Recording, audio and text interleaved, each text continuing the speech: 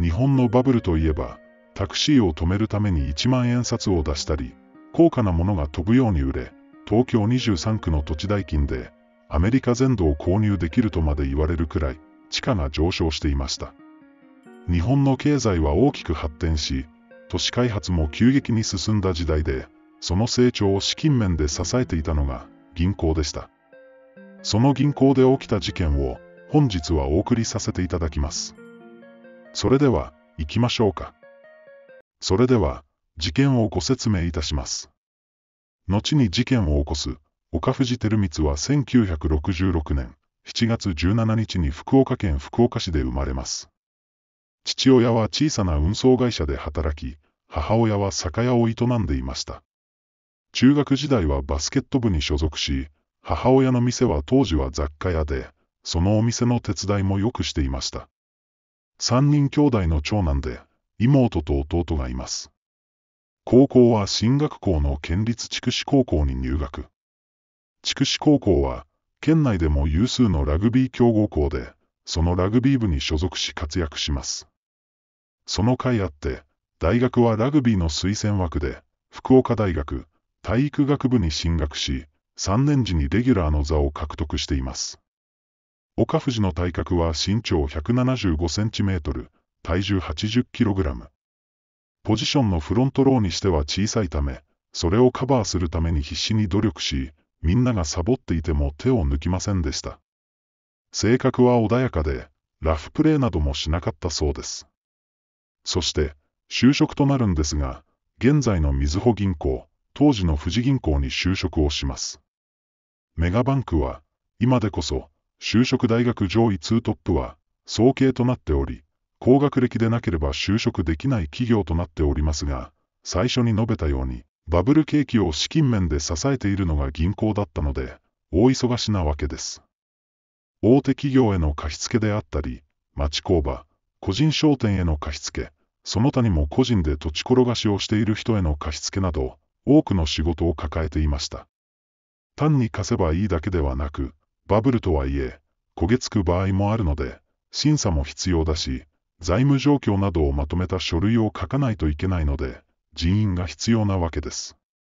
福岡大学は、もう仕分けないのですが、地方私立大学の一つで平均的なレベルの大学で、メガバンクに就職は厳しいところではあったのですが、時代背景もあり、人員が必要だったことから、就職できたのです。1989年4月、富士銀行に入社。融資担当として東京、竹の塚支店、門司支店、北九州支店と回った後、1996年4月に春日部支店に移動して障害担当となります。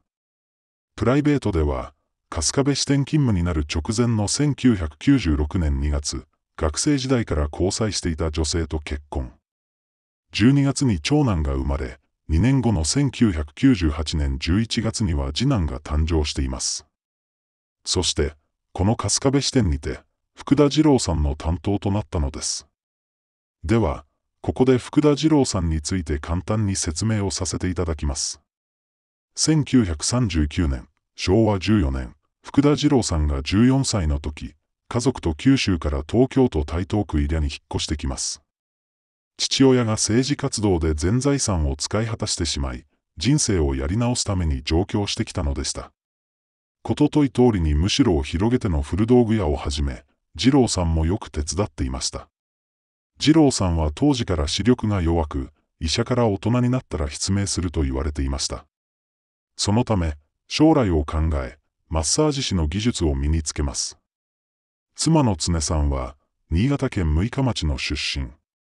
家は貧しく、1943年、昭和18年、12歳の時に埼玉県秩父の製紙工場で働くようになります。その後、台東区下屋に住むおばを頼って上京。自立するため、要塞の技術を身につけます。常さんの腕は相当のもので、固定客を多く抱えるほどの人気でした。同じ台東区に住む二人は、人を介して知り合い、結婚。13坪の小さな家に住んでいましたが、バブル景気で坪800万円で土地が売れ、約1億円を手にすることになり、長男一家との同居を見据え、埼玉県宮代町に40坪の家を買って移り住みます。残ったお金は、富士銀行に預けていました。また、この頃には二郎さんは全盲となり、指圧院を開業しており、奥さんの常さんも背中に障害を抱えていました。そして、同居していた長男一家は転勤で、1992年に仙台に移り住んでいます。藤岡の前の銀行担当者は、買い物であったり、パチンコにも付き合ってくれ、客として指圧院にも通ってくれていました。そして、次の担当となったのが、岡藤だったのです。岡藤は真面目ではあるものの、どこか不器用な人で、人間味を感じ、福田さん夫婦は良い担当で良かったと思っていました。岡藤は1997年秋、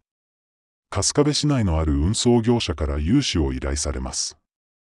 すでにバブル経済は崩壊しており、潰れる会社も増え、不良債権という言葉がメディアを賑わす時代でもあり、この運送会社も風前の灯火だったのです。けれども、融資を受ければ何とか切り抜ける、家族が路頭に迷わないために、融資をお願いしますと、頭を下げられるわけなんです。銀行としても、不良債権をいかに切り抜けるかが存続していく上でも重要だったこともあり、融資の基準が厳格となっていました。運送会社は、融資基準を満たしていませんでした。泣きついてくる運送会社、けれども、融資基準を明らかに満たしていない。同数字を整えたところで、会社の許可が出るはずもない。そこで藤岡が取ったのは、禁断の裏技、浮き貸しでした。自身が担当している顧客の金を無許可で、融資先に貸すというやり方です。メリットとしては、顧客を引き止めることができる。そして、表面上は銀行という手で貸すので、金利をポケットに入れることができます。その反面、発覚すれば懲戒解雇。なぜなら、お客の金を使うわけなので、銀行員としてはご法度ですし、出資法に違反する行為でもあります。要は犯罪です。銀行の名前を使って顧客の金を動かすので、焦げついた場合は、銀行も、本人も損害賠償責任を負う必要があるんです。実は、岡藤が浮きしに手を染めるのは、これが初めてではありませんでした。1996年、春日部支店に赴任した初年度に、新規営業に行った土建屋に3000万円の不正融資をしていました。この時の資金源は、福田夫婦の定期貯金でした。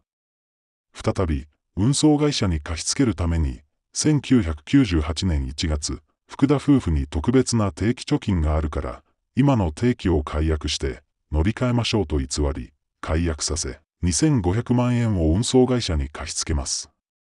架空の定期貯金なので、福田夫婦のもとに銀行から書類が届くこともなく、福田夫婦としては、ちゃんと運用されているのか不安になり調べてみるも、運用されている形跡が一切ないことを不審に思い、岡藤に特別な定期貯金の解約と返金をしてくれと迫ります。6月26日にちゃんと耳を揃えて返してくれ。岡藤は、そうは言っても手元に現金がないことから、ちょっと待ってください。せめて、6月いっぱい待っていただき、7月2日に定期貯金の一部である1500万円を返金しますと説得し、名刺の裏に書きます。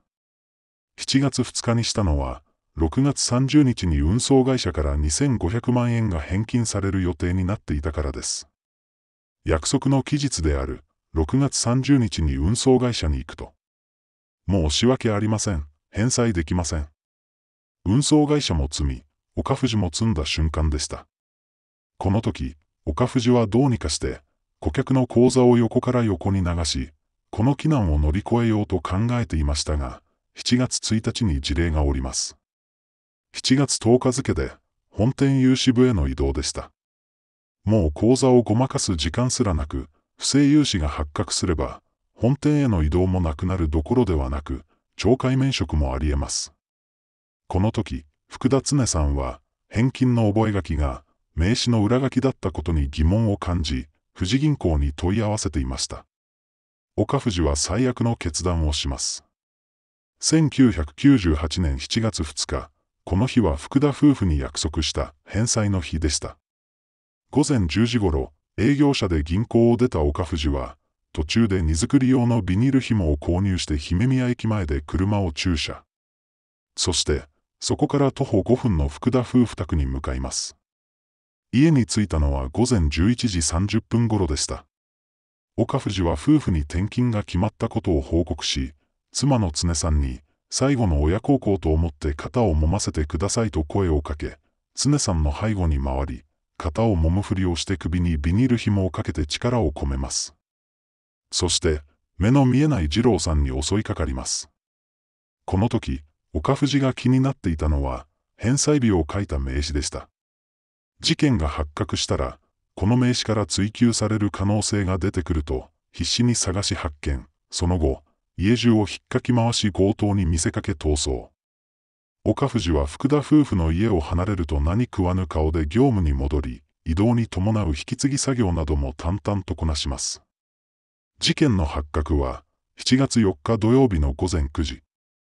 発見したのは週末ごとに二郎さんのマッサージを受けに来る、岡藤の前任の親切な富士銀行行員でした。岡藤が逮捕されたのは、その4日後です。警察は早い段階から岡藤を重要参考人として目をつけていました。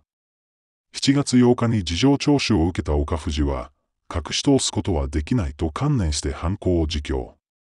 富士銀行は、前代未聞の不祥事の責任を取って、会長以下16人に3ヶ月減俸、春日部支店長の降格などの処分を行い、また、被害者遺族には賠償金約5000万円を支払っています。そして、裁判では無期懲役が言い渡されます。極刑にならなかったのは、富士銀行が5000万円の損害賠償を払っていたこと、そして追い詰められてやったことで、強盗ではないと判断されたからです。はい、今宵でございますというようなところで、ちょっとね、私が思ったことなんですけど、初年度からその春日部支店に行った初年度から福田さんの口座に手をつけて勝手に貸していますよね。もしかしたらね、これが最初っていう文言もあったかもしれないんですけど、以前の視点でもやってたんじゃないのっていうふうに私は見ているんです。普通初年度でいきなりできないもんね。もしかしたらね、他の視点で同じようなことが行われていて、そういうのをね、先輩から学んでいた可能性があるんじゃないのって思ってて、じゃなかったらやんないもんね。実はね、似たような時期に、証券マンが顧客のね、お金に手をつけて全部吸っちゃって、それでやられちゃったっていう事件もあるんです。おそらくね、そっち系の人のお金に手をつけてしまったと思うんですけど、この銀行もね、結構ゴリゴリ強気の融資もやっていて、絵画ローンみたいなこともやっていたんですよ。絵画に、絵画を担保としてお金を貸しますよとか、今じゃなかなか考えられないですよね。だからね、そういう風土があって、そう、その浮き貸しっていうのに手をつけてしまったと思うんです。おそらくなんですけど、まあ、全体の何割かはやってたんじゃねえのって私は見ているんです。とはいえね、自分の身を守るためにそこまでやってしまうっていうのはね、さすがに行き過ぎ。まあ当然の罰というかね、向きっていうのも当然だと思うんです。とはいえね、金融関係ってね、やっぱね、成績っていう意味で闇はつきまといますよ。そういう風土がね、今回のね、この事件ではなくて、さまざまな事件を巻き起こしていたんじゃねえのって見ているのが私ではあるんですけど、皆様はどう思われました？ではまたお会いしましょう。チャンネル登録、高評価お願いいたします。またね